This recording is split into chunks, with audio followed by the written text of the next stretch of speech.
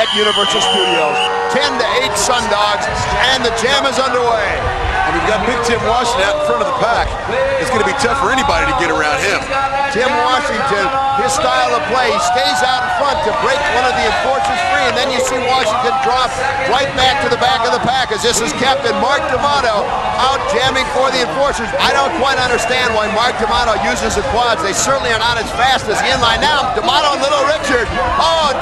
Great move, goes low and goes by two of the Sun Dogs.